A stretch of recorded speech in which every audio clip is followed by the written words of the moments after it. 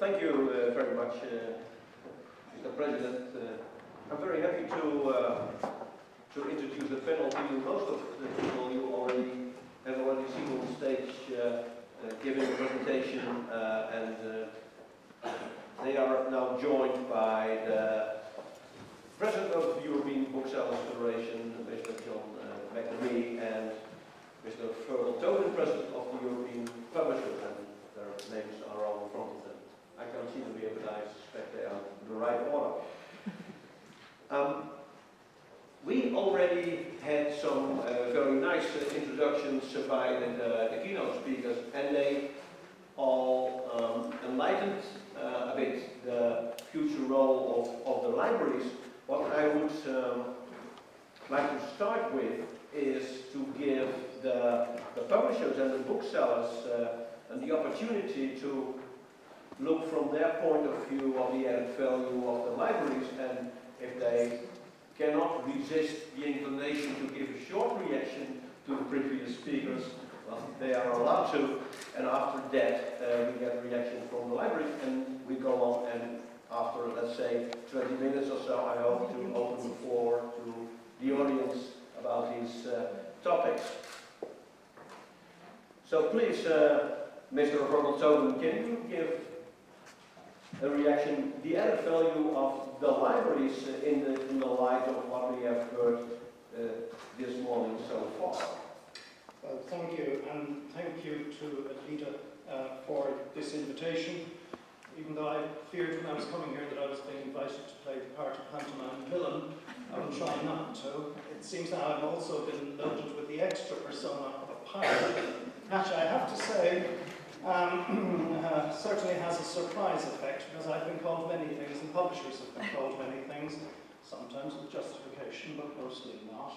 But never before have we been called pirates, so I must uh, congratulate Doctorow for uh, at least uh, showing uh, exemplary creativity and originality. Um, you will uh, understand. You will understand. I know all about the statute of. Well, so that was, that was all about publishers called pirates. Well, actually, we're talking about 1710, yes. United Kingdom, when bookselling and publishing were one and the same thing. Let's not get into a dialogue of the deaf here, because I don't think it's going to be particularly helpful. Uh, where do I see the role, excuse me, of libraries, both public libraries and research libraries? Um, the short answer uh, in the digital environment uh, the short answer uh, is absolutely central to our cultural future.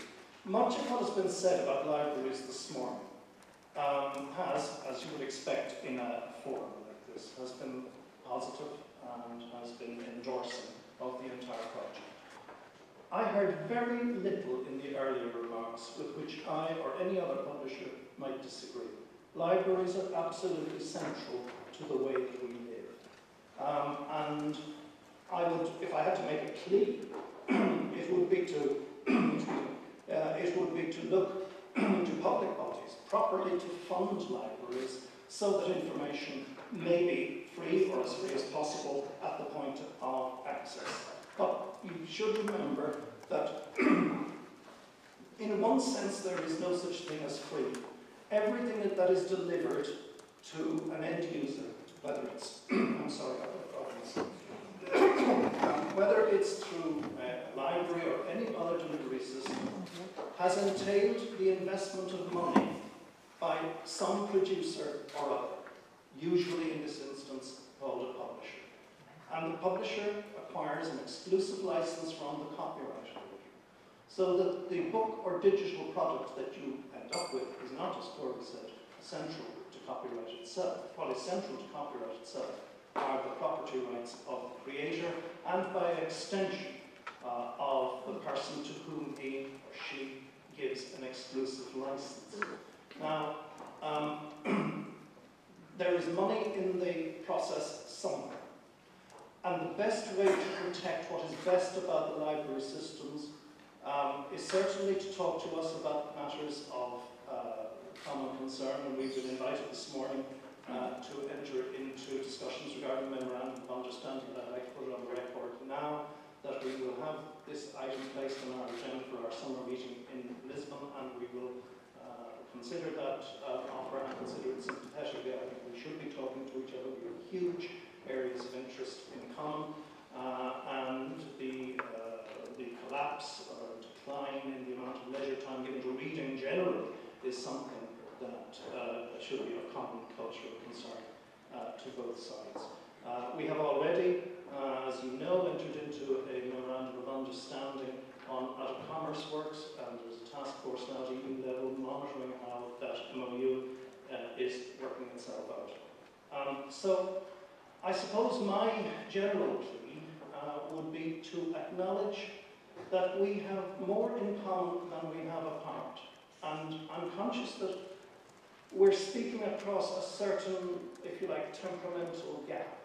That there is always going to be a gap between professions like librarians, academics, and bureaucrats, and so forth, who are in, if you like, the non-trading, non-merchant sector, and those of us like publishers, who are, in our case, investors in intellectual property, uh, who expect a return, who expect some security for our licenses, and some reasonable return for the exploitation of uh, uh, of, of our products. Now, there's always going to be a gap of sentiment between these two sides. I think when we speak to each other, we should be conscious of this sentimental gap um, and try to try to bridge it as far as possible. Um, the, uh, I, I, think the point uh, on the proposal for uh, further discussions on memorandum of understanding, uh, as I say, is one that is well made and one that is uh, broadly welcome uh, to us. I will elaborate on these themes further if I'm required. Thank you. Um, Mr. John, uh, can you say something about the added value of the library from your point of view that the books are? Well, I, I, I, again, like Fergal, I'm absolutely delighted uh, to be invited by Ingrida uh, this morning. I think it's very important that as, um, as a community of people who deal in books, that, it, it, that we all talk together, publishers, booksellers and librarians. Um, we are, bookshops are a complementary conduit to the consumer. And booksellers and librarians serve their community.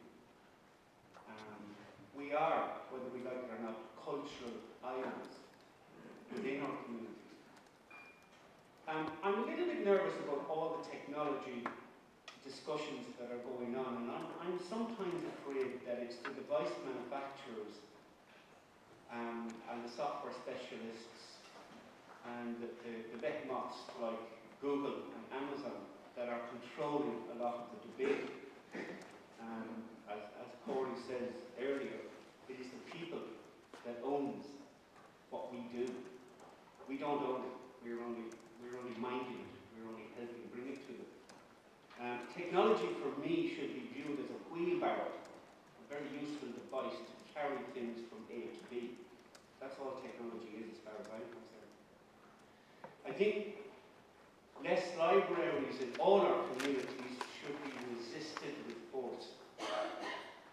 Um, I know very well the very important task that librarians where I live out. They do many, many things which I could never hope to do as a bookseller. What they do actually helps me as a bookseller stay in business. You actually drive customers to me. Thank you very much indeed. Without you, I would have many less customers. I think the future is that we are going to have less bookshops. That is definite. It's regrettable, and it's very bad news, and but it's inevitable. And it's very bad news because we asked Nielsen Books to scan and track a lot of book sales in the UK and Ireland. And when Waterstones uh, went out of business, we asked them to track what happened to the market that they had. Did it migrate to the nearest books and uh, bricks and mortar bookshop, or did it migrate to online trading? And the bad news was it didn't go anywhere. The business disappeared. So for, for, for me, as president of the European Booksellers Federation, it is vitally important for us to keep as many of our members in business as possible because we will drive footfall to the libraries as libraries will drive footfall to us. Um, the future is bleakish, but the future is still very strong because I think those libraries that can reinvent themselves and those bookshops that can reinvent themselves will become vital hubs in their own community. But I think there is some reinvention uh, to be had. I think some booksellers, for example, need to curate their stock mix, a bit like librarians do. Um, so, working together, talking together, um, working in partnership together, um, I think is something we should have on all our agendas all of the time future to ensure we keep that cultural conduit to market alive in as many locations as possible in all of our communities. Thank you. Thank you. Um, now we move to the libraries. Um, Maria Antonia, can you give an impression and reaction on what you have heard thus far? Okay. Well, First, thank you to participate in this panel discussion. Uh, I guess I want to imagine a changing fu- future in these uh, sectors related to reading for um, libraries, authors, publishers, and booksellers will necessarily work as allied partners. Uh, maybe I miss here a person representing the reader opinion, whose influence now is so important that drives us to transform our work perspectives for all of us. Uh, I want to say, just to react to this uh, statement, that uh, for libraries, the, the key point is not the gap, as you said, uh, but it is it's another thing. Regarding the e-book lending in libraries, there has been a crucial change imposed by publishers, the new business model, uh, that affects us so much that the library lending policy is beyond our reach. Uh, it's important to understand that content is crucial for libraries and its future development, and this model uh, has so many limits that strangles our work and the functions that the libraries have. So, uh, the, I would like to, to talk about the model because I don't understand the reasons why this change has taken place. Uh, we all know that periodicals are continuous resources, and I understand that the publisher really offers an updating uh, and deliver the, the publication throughout the years uh, with new content. But the book is closed unit, and when it is published, it's finished. So there is no reason to sell it as a service like periodicals. Another argument is, uh, the book is sold as a service, it has to pay a higher VAT and no longer the paper book VAT. This has a negative influence in the final price and does not benefit the spreading of the e-book. And in countries where uh, the book prices are fixed by law, there is no possibility to lower prices and to have a reasonable, reasonable offer. On the other hand, I understand that publishers want to control the access because of the fear of losing their income. If libraries only one copy of an e-book and lend it to many people, but maybe we can find an intermediate solution that fits both, both necessities and give libraries uh, different options. Maybe instead of license model, to buy the content itself with the file negotiating higher price or fair conditions. Libraries can assume the management of e-lending uh, using uh, platforms and everything we need. Uh, we, would move a step backwards if we let books in libraries that way. And it would be better to work in collaboration with the book sector, looking for better solutions. So I'm sure that uh, uh, yesterday we had we had the NAPLE assembly, and in each country we are managed with uh, this issue in different ways. Um, there are some good examples in example in Denmark, different from license model, and uh, we could uh, speak about.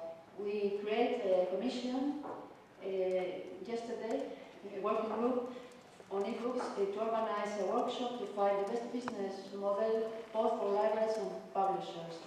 The NAPLE members involved are represented in Scotland, Denmark, Flanders and the Netherlands. And all parties consider it necessary to dialogue with publishers in order to find the best solution libraries can be, because libraries can be a lab of experimentation and we think that we deserve uh, special conditions. Thank you. Mr. Gerald Leitner, you, your reaction, please? Uh, First of all, I want to thank our keynote speakers for their inspiring speeches and for all the ideas that we have got uh, this morning. Uh, I'm very pleased that Mrs. Cronberg uh, stressed the value of libraries in, in democracy. I want to underline that uh, democracy will not exist without well-informed people. A vital democracy depends on well-informed people and uh, libraries are giving this access to information to create uh, a society with well-informed people. That's our mission. What I see is that the ability to pay should not dictate who can participate. That is the principle of our democracy. It cannot be that you have to pay, that you can participate in an information market to inform you about democracy. You don't destroy democracy in such a way. And my fear is with this copyright regime, with e-books, uh, we falling back to ancient times. The ability to pay is to participate in the e-book market. We are out of the business in a way, as you see in the US, where the six big publishers are reluctant to give licenses to libraries. Three of the biggest publishers of the US don't give licenses to libraries, e-books to licenses. This means only people who are paying can participate in this market. That is against the idea of democracy. And that we have uh, to change. And I'm really pleased to hear that European Publishers is willing to get in a dialogue with the EBLIDA. I think the only chance is to get a memorandum of understanding for fair licensing models to avoid such a system in Europe. And I want to underline, we librarians have a big respect of authors. We have a big respect of publishers. And we are in favor of the idea of fair remuneration for lending. That's our principle. But we are against a system where we are not working as partners on an eye level, then it is not a partnership. And if we don't change it, we have to start actions against. That should be clear also on this table. Thank you. Uh, May I just add one I I just want to, Yep. to follow the, Okay. the- the line, uh, Ms. Cronberg, please. uh, Thank you. I just want to make three points. I think one of the things is, is what is common among publishers. I think it's important to sort of agree on the, on the basic fundamental point of, of departure. And I think that's why, that's a question of why people read and, and how they read and where they read, not what they read. But, but so I think this point uh, you were making that it's important for publishers that actually people read. That the idea of libraries and e-books in libraries, whatever the licensing form, is actually increasing the ability of people to read, the interest of people to read, and also to, to promote things like democracy, equality, and so forth. So the worst thing would be that, that reading would disappear. So just looking at this common thing and then from there on, on trying to define the, the solutions then would probably make it easier. sec- second thing is, is that I'm very interested in this discussion. I'm an own researcher of technology and society. So it's very interesting to see how technology drives this discussion and how the models that are created are created on the basis of, of what is technologically available or potentially available in the future. And, and it's a very usual situation in a start of new technologies. In, in the later phases, we call it social shaping of technology. The user shaped technology, the market shaped technology, the technology changes forms. A- And therefore, I think that it is important in your licensing agreements to, to try to be independent of, of the technological forms as, as much as possible. It may not be altogether possible, but it- it's at least one, one chance. And I was horrified at some of the examples you were giving on, on that you actually could destroy ebooks on your, on your computer, that you would have a camera uh, looking at what you read or how many people read. That was a metaphor. Okay. Meaning as a metaphor, it's still uh, Orwellian uh, kind of thing. So, so I can just imagine uh, technological developers thinking about how to control what people read, and, and, and this is this is of course not the point. The third point I, and the last point I want to raise is the question of funding libraries. I, I understand very well this this uh, this climate in libraries of we don't have resources and, and we don't get resources. And, and, and so, but still, if you look at, at places, for example, all societies have during the past 30 years actually increased a lot the amount of money you spend on technology and innovation, research and innovation. Countries compete about how much money they put in these uh, activities, how much of your gross national product is 1%, 2%, or 3%. And my country, Finland, was very proud for some time ago saying, oh, we put 3%, but we were uh, judged to be the, be the most innovative country that changed. But I think also if, this creative economy is to be taken seriously, then you have to change this idea. Not, not think about, oh, we don't get any money. Of course we have to get this money. Of course it's part of the creative economy. You have to change this, this, uh, this uh, way of thinking. So that, and, and if you change the way of thinking, uh, then the politicians, I think, will also change the way of thinking and, and look at this creative economy as actually a, a possibility. And, and there are statistics which actually say that in Europe more people are, are working in creative fields than in, in the car industry today. So the arguments are also evolving. So, so, so use them. I, I know it's not easy, and, and I'm sure that many people think, and you have your own libraries, and, and you're just reduce- reducing the budgets, and probably because the economic crisis, you are going to do this even further. But, but at least it's worthwhile trying to look at sort of basic arguments for, for funding activities in, in, in, in society. And I was telling somebody here uh, during the coffee break that the EU is spending enormously money on, on trying to bridge this gap between the citizen and, and the, and the elite, which is huge, and it's getting even worse.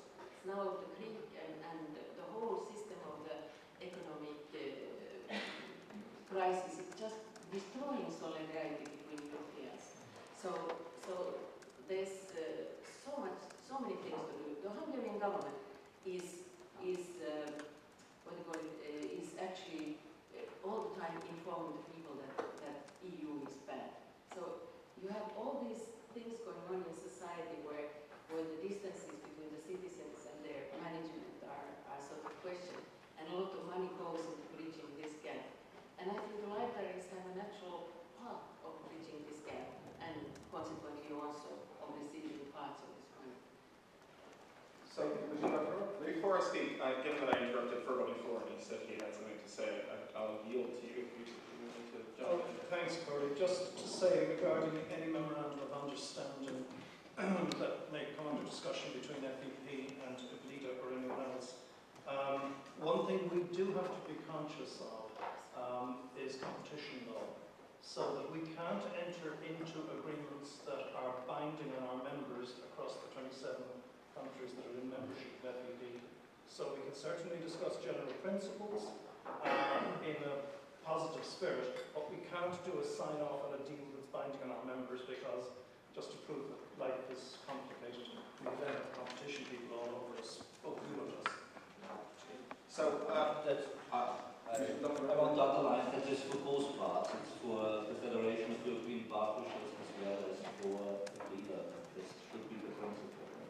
So I'd like to start by saying that I'm both a publisher and a bookseller. I, I co-own Boing Boing. We reach 9 million people a month, people a month and turn over a couple of million euros a year, pay writers for what we publish, and then we sell books through affiliate programs with electronic booksellers, about 20,000 books a year on my, just for my reviews alone, there's, there's four of us. So by both of those standards, we're a medium-sized publisher and a pretty good-sized independent bookseller.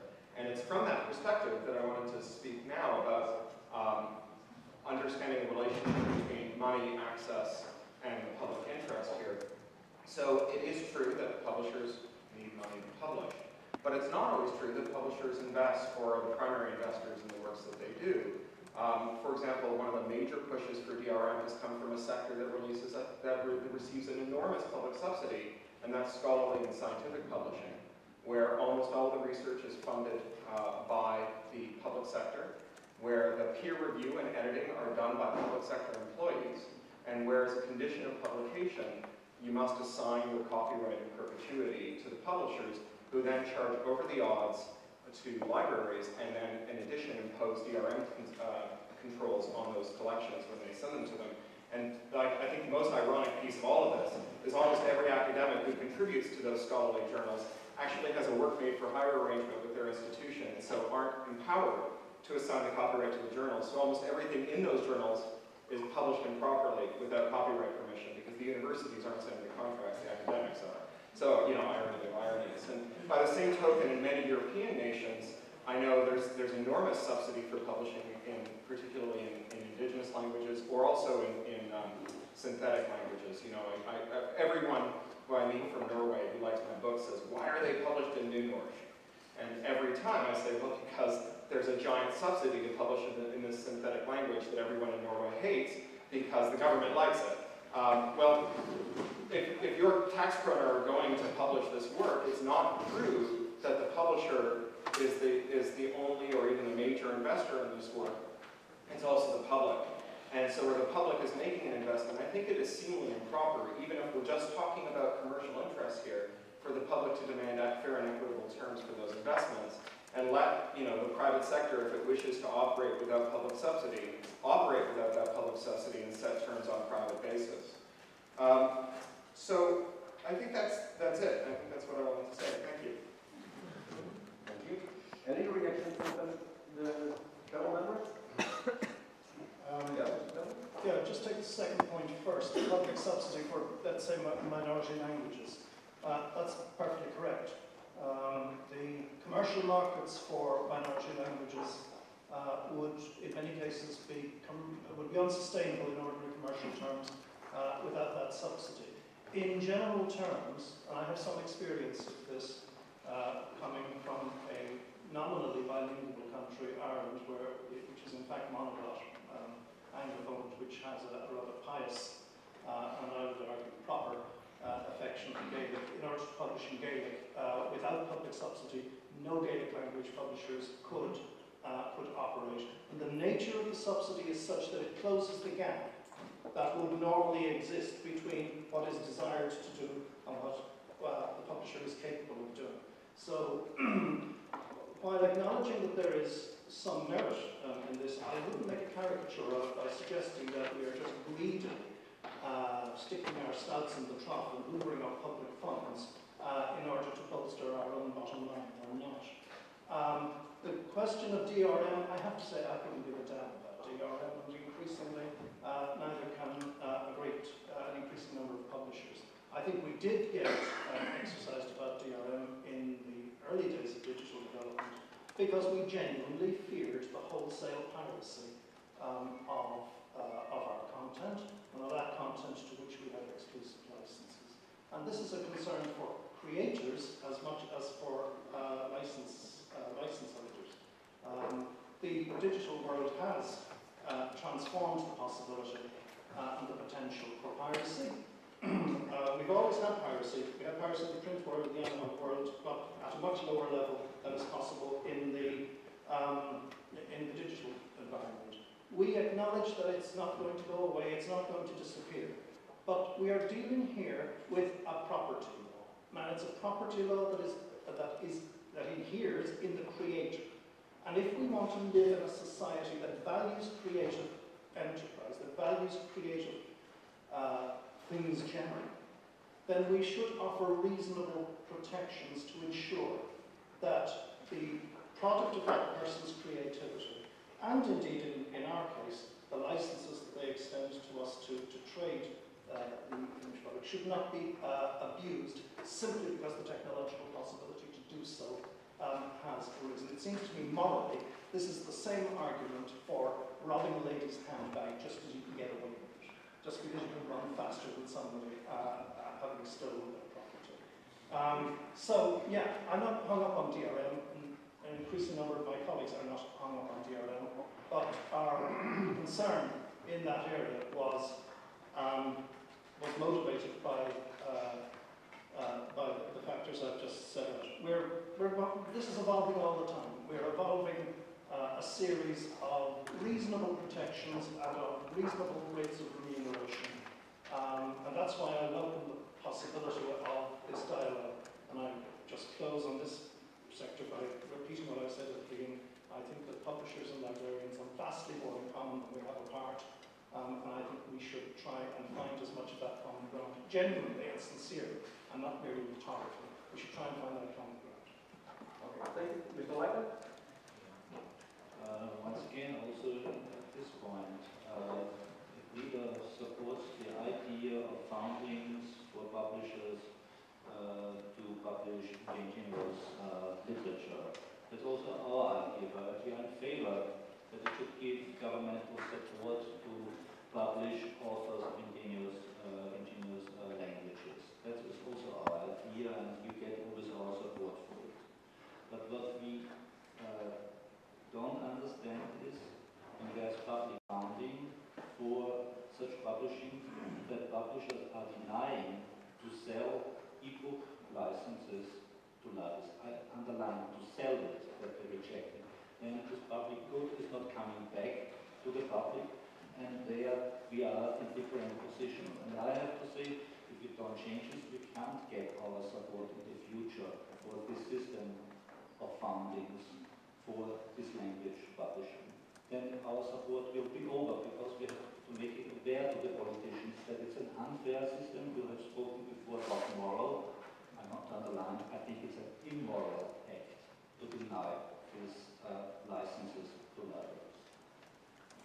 Okay, thank Just you. add I don't, I'm not familiar with the details of the American situation. So I, you, I'm not evading the issue, but you'll understand that there's not much point coming to a conference and speaking about something that one's not come out of detail. Okay, I would now like to give the opportunity to the audience to ask questions, give reactions to what you've heard so far. Yeah, Stuart, please, there, there is a microphone, yeah, right. Um, I'm Stuart Hamilton, I'm the Director of Policy and Advocacy at the International Federation of Library Associations. And I wanted to follow up actually explicitly on what Gerald just said and what Mr. Tobin just responded. I'm, I can't believe that you're not familiar with the US situation regarding um, the way at least three of the big six publishers, so I'm positive that you work with in your capacity as the President of the Federation of European Publishers, I would like to know clearly, I think it's very, very helpful for us to understand going forward as European libraries begin to develop our lending models, why won't three of the big six publishers sell to libraries? And I, I think this is a simple question, and I think there should be a simple answer, I hope. I it would be very useful if we had some background information on this. And I, I simply, I can't accept that you do not know what's going on in the US. I'd, I'd like to see if you can answer that question. Can can I just, can I just come in on that, just as, as a bookseller,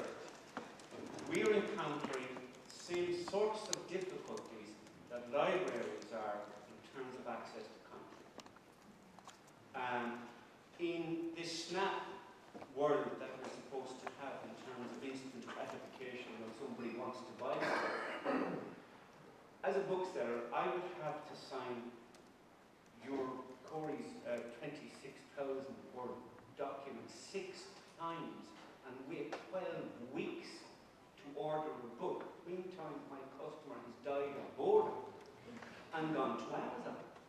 But it, there, it's, it's this whole wrap DRM that's frustrating me and frustrating you as librarians, and it does need to be addressed. Um, and, and, and I think it's, it's a huge impediment uh, to, to, to many consumers. Now, when, when we look at the distribution throughout 27 member states, and taking some of the new accession states, that becomes even more fragmented and even more difficult um, in terms of rights issues, etc. So we're, we're frustrated as well as booksellers. Just on that issue, in other things, we're quite happy.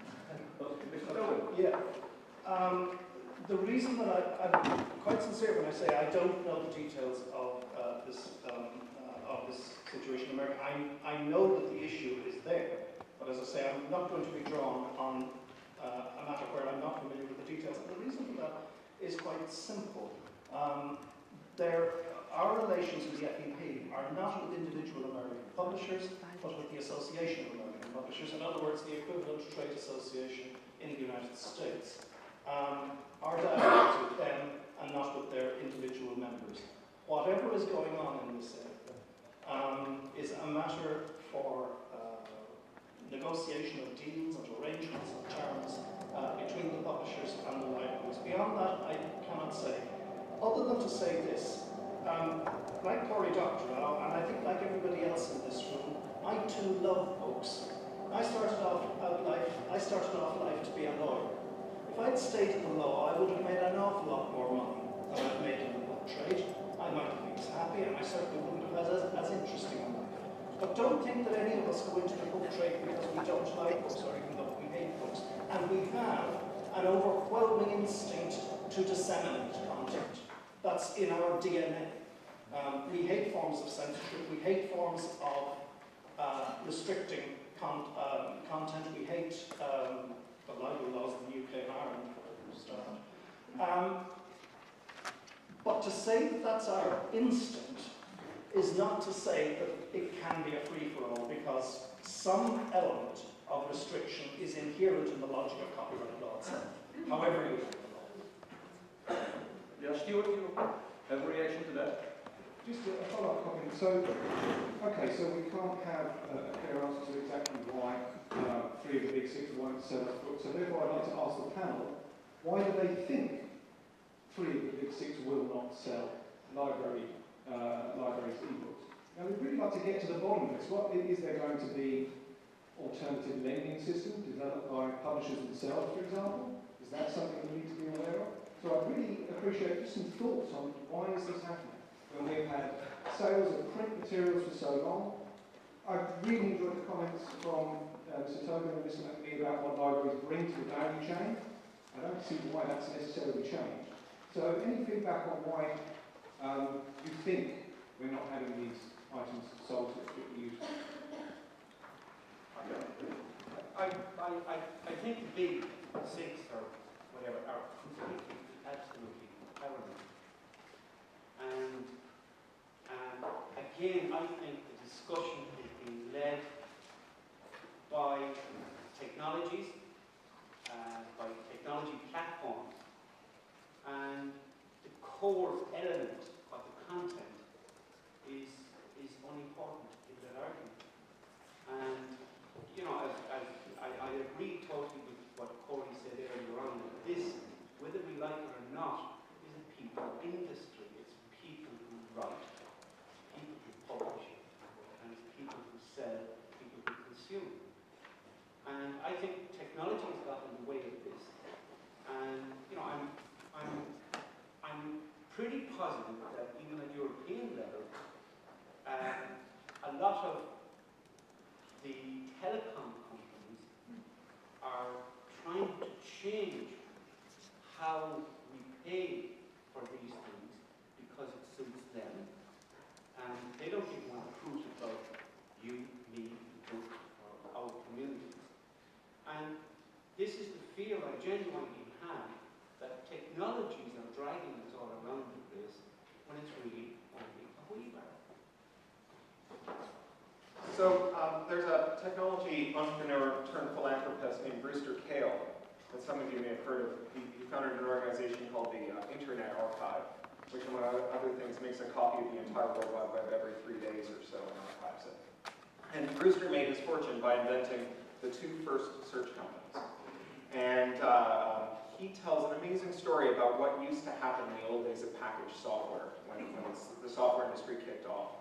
And you had platform vendors who were like Microsoft, who controlled the operating system market, 95% of the operating system market.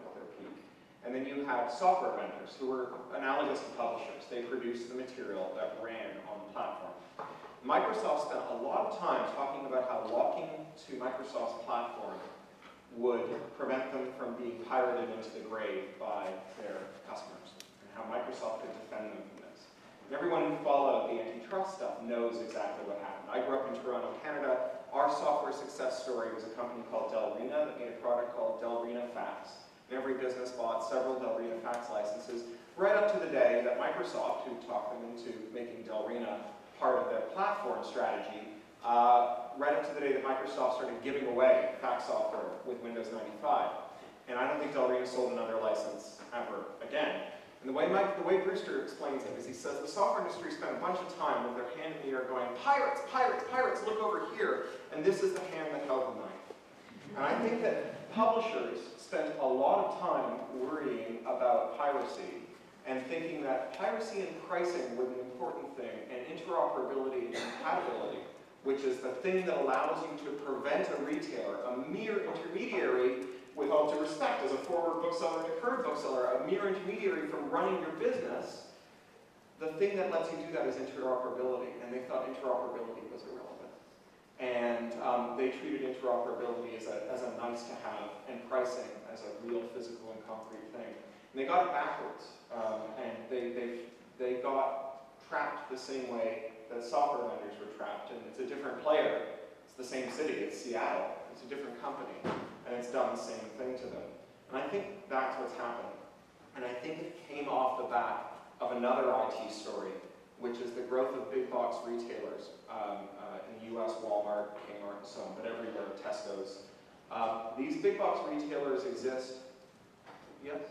No? Uh, just for lack Big box retailers exist because of efficiencies that come out of IT. Walmart exists because it can manage these long supply chains that start in China. And these big box retailers drove out of business not bookstores, but the places that sold books that weren't bookstores, uh, grocery stores, pharmacies, and so on. Uh, they, they stopped carrying it. The American distributor marketplace fell from 400 regional distributors to three after Walmart demanded a single uh, distributor to retail to, all, to distribute to all of its stores. And so the means by which people discover that they are readers has radically collapsed. Because you don't go into a bookstore until you know you're a reader. You don't go to a library unless it's on a school trip until you know you're a reader. The way people discovered books was out of bookstores. So as the bookstore um, starts to decline, as these big box retailers take over, we're squabbling over an ever-contracting pool of readers. And libraries are now the last place with the collapse of independent bookselling where you really get hand selling of books, right? It's one of the reasons libraries and publishing are so compatible, is because librarians say to you, if you're reading that, you should be reading this, which is what bookstore clerks used to do in the golden age of independent bookselling. Yeah, we have a question. Yeah. Yeah, please, the microphone, yeah. Thank you. Um, my name is Anne Mental, and I'm the director of the Federation of European Publishers.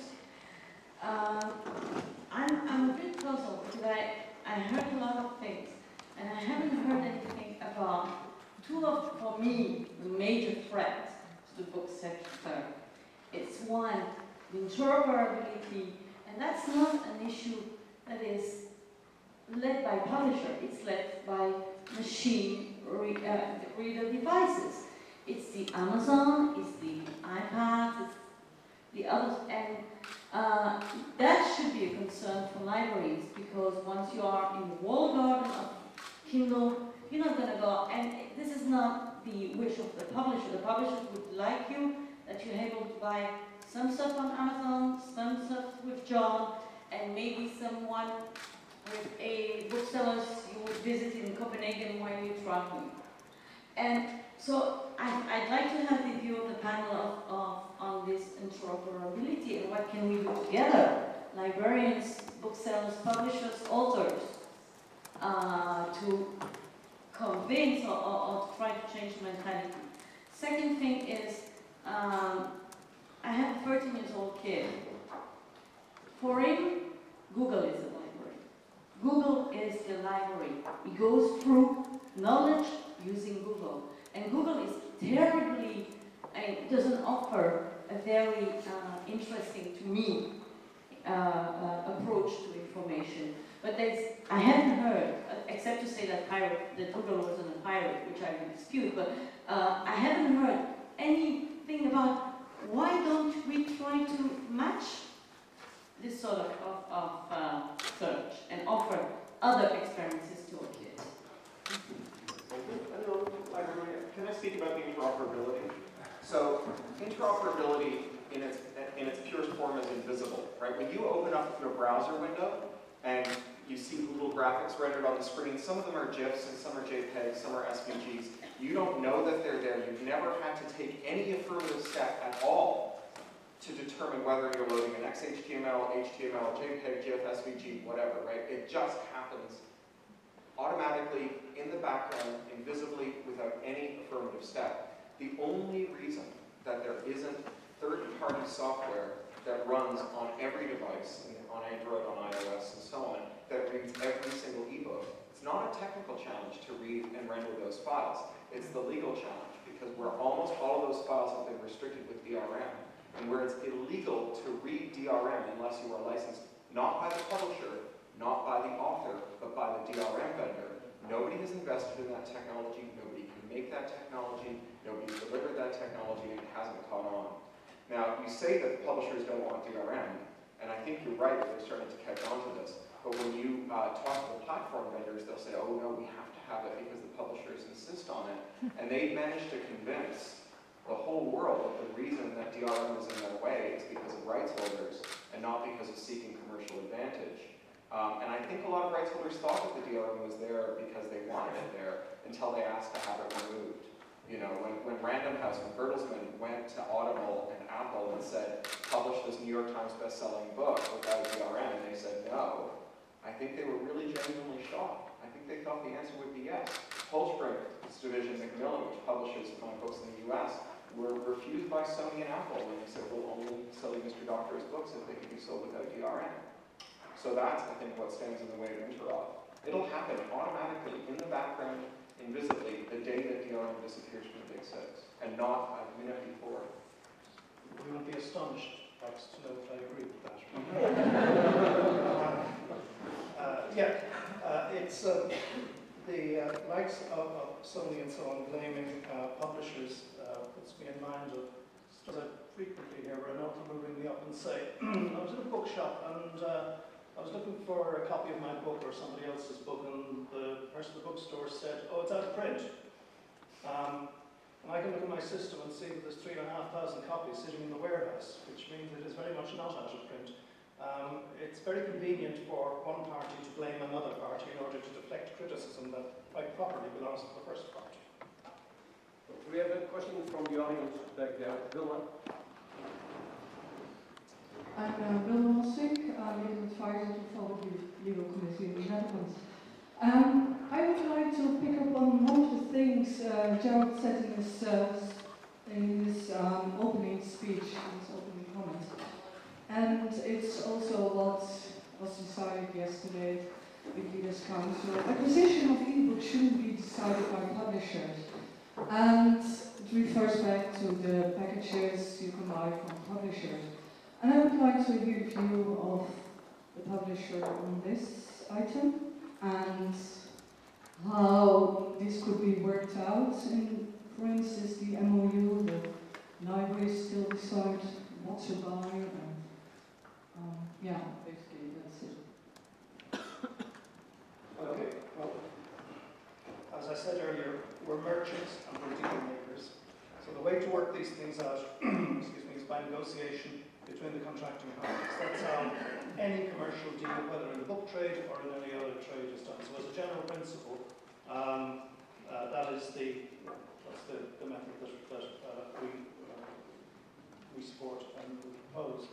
Um, so, you know, without endlessly repeating myself, that's why I think any invitation to dialogue of this kind, which helps to remove uh, the misunderstandings that can get in the way of a normal commercial transaction, um, is uh, is very welcome. Um, the um, the question of uh, journal publishers bundling products, I know that is a, a, a, matter of current uh, controversy. Um, and um, again, it's not one that I wish to be drawn too deeply into because I have no personal experience of the uh, scientific, technical, and medical sector, and they have their own experts and their own indeed trade association uh, to deal with these issues. So you, again, you'll understand, not once again trying to evade the issue, but again, there's no point in my being drawn into something where um, I, uh, I don't have the, requisite detailed knowledge. Well, Mr. Leitner, yes, you, you said before that you wanted to have MOU with publishers and you were put all your trust and faith in uh, fair licensing. Maybe you can tell us a bit more what you mean with fair in this context. Um, First of all, uh, uh, regarding this Google and uh, Amazon question, I'm, I'm sure we cannot solve all the problems at once, and we cannot solve the, all the, the problems of the world here in Copenhagen. But I would be happy. Uh, we have a discussion now, time five minutes. I don't think we will be able. You will be happy with the solving of three problems. Yes, but what, uh, but what I think we should concentrate on the problems which are able to solve. That we should do. And I'm quite sure we are able to solve some problems in a memorandum of understanding. And we should concentrate on the memorandum of understanding to solve these problems. And I'm, I'm uh, very pleased to hear that you are interested to start such a dialogue. And I can guarantee that we uh, we see that you are uh, you have a commercial interest. That's clear, and we uh, we guarantee you that we uh, have a big respect for it. And uh, but at the same time, we should find a solution which enables us to fulfill our our services for the public. We have to create a win-win situation. We don't want to attack you. We, we point out what is unfair, and then we should try to find solution to, to find fair licensing model. It's clear that we, we, we are we are not in favor of a system which uh, what also uh, Stuart Hamilton mentioned or I before in my speech when when uh, when uh, publishing companies are rejecting to, to, to sell to I point out to sell licenses to to libraries. That cannot be a point of a fair licensing model. There to be another understanding behind that, and I'm quite sure that we will find such a way. Mr. McNamee first and then uh, Mr. Rabbit. Um, while we're all squabbling about all of this, um, I, I fear there is a couple of giants out there creating their own solutions. They don't really have anything to do with, with, us at all. One of them is called Google, and another is called Amazon. And it's my belief that these guys are getting too big. And I think if I think if they become too big, they will become dangerous because they will become anti-democratic. And history can tell us that when too much power is vested in organizations like this, it leads to abuse of some form or another. So I think it's incumbent upon us as an industry to ensure that we have the easiest way to market for the consumer and don't put up obstacles that are silly and stupid because some software manufacturers or device manufacturers say that's what we should do. We need to drive the solution and make it easy for the consumer. We're not doing that at the moment. Brown? I just want want to make a suggestion is to remove the words license from the fair license. I would prefer to talk about uh, mm, lending model because uh, we, we were thinking in licenses at the. That's why we didn't want to. Mr. Kroger? Yeah, Just, just to add, it's, uh, it's our licenses and it's not lending, that's the problem, and therefore we need their licenses installed. Okay, Mr. Kroger? Well, I, I understand this uh, idea that it's a question between the contractor, the contractual partners and, and, and that problems can be solved there. But uh, you have to make it easy for the consumer and you have to make it easy also for the politician. And in, in this case, I mean, in case legislation is needed, in case there are there's a need for uniform practices instead of 27 countries, if you need uniform practices, then the questions have to come on the political level. And I, I think here, one expression on the political level is these parties that have been emerging, private parties, where actually the issue is, is raised as a very poli- clear political division.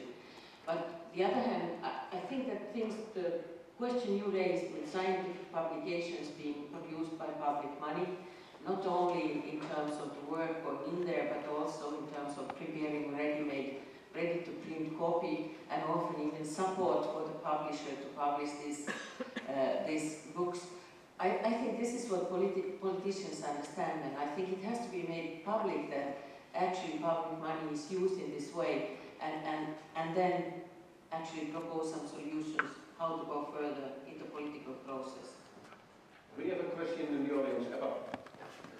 Apple from Mr. Fernandez. I have a question. Um, I- I'm missing in the panel uh, the authors, because I can imagine that, uh, yes, Cory is a kind of author. Well, uh, but I can imagine, because I'm, I'm, I'm, I'm interested in the question, uh, in the answer of Mr. Dolan will give. If, uh, if I would, as an say, give an exclusive license to the library for just a, a, a bit of money and not the whole enchilada, uh, would you publish my book then? So I make, as an offer, that's, the, that's, that's, that's, that's the, the source of, of where it comes from, and he says, or she says, well, okay, for libraries there's an exemption rule, I make a contract with you, you may sell my book, you may do anything with my book uh, whatsoever, but for libraries you have a special uh. The short answer to your question is all other things being equal, yes, I would make a contract with you on that basis. Just as I would make a contract, when you get an exclusive license, you don't automatically buy world rights all languages. Uh, the, the, the, the exclusivity of the license uh, is uh, tempered, uh, it's moderated both by territory and by language group. So I might very well buy European Union English language rights for a book I wish to publish. Um, but I don't have any particular interest in buying North American rights. Uh, I would simply have to trade them on. It's the same principle. I might, um, I might not acquire foreign language rights, so therefore why should I automatically expect to acquire library rights? Um, traditionally, it's just been part of the package, but there's no great principle reason uh, why it should remain so. So, uh, yeah, the answer is all other things being equal. You come to me, I want to publish your book, and you say the deal is A, B, C, D, but I retain special library rights, rights which are set out as set out in detail of it. We got a deal. Then you get free contracts at the table, libraries, authors, and publishers. Uh, you would be making a contract for us in respect of the rights that you grant to us, and then you have to go away and negotiate separately with the libraries. You're on your own. So I I think that this is like, it's a, it's an interesting and cool sounding hack and maybe a fun document experiment. I, I, I think ultimately it's a non-starter for a couple of reasons. So, it, you know, let's start by saying that if you went into the international rights room at Bologna or Frankfurt, London, you know, BEA in New York, you would find a room full of international agents who just don't give a damn about libraries. I mean, not, not in a bad way, in a good way, right? If you said like libraries are in or libraries are out of the deal, they'd be like, I'm not really here to talk to you about Slovenian libraries, right? I mean, it's like, yeah, by all means include them. Like, do you have libraries in Slovenia? That's not why we're here, right? So it's, it's, it, it, it would be trivial to get that. But then there's two really important problems. The first is that authors are not equipped to manage deals with every library system in the world by themselves. And the second one is that, speaking as someone who, who's got his own imprint, libraries can't open vendor accounts with um, arbitrary vendors, that your procurement process makes Franz Kafka look like an optimist. So, you know, the idea that you would open procurement arrangements with every author in your collection is, and, and that like we would all get, um, you know, uh, uh, whatever the local permit is to like uh, do retail business in Hungary in order to bring in 14 euros a year that we would then have to try and deposit into our banks who would charge us 20 euros to deposit it. It's, it, it's a non-starter. I mean, it's a nice idea, but like, it's a technical nightmare. And you would get into the EU Court of Justice for impeding competition. Yeah. Uh, Yes, But the idea of Apple is not so bad for a memorandum of understanding, of understanding in general for uh, the doing such a memorandum to give the chance for uh, to give licenses to libraries. But as I say, just little creating what might be, what might be the substance of these discussions. I've simply indicated three or four times that we're prepared to enter into the discussion we take from there. As we are heading towards lunch, I'm afraid is all we have uh, time for. I hope we have given you some inspiration for the workshops in the afternoon uh, with this interesting discussion. But of course, I want to ask you to join me in thanking the panel members.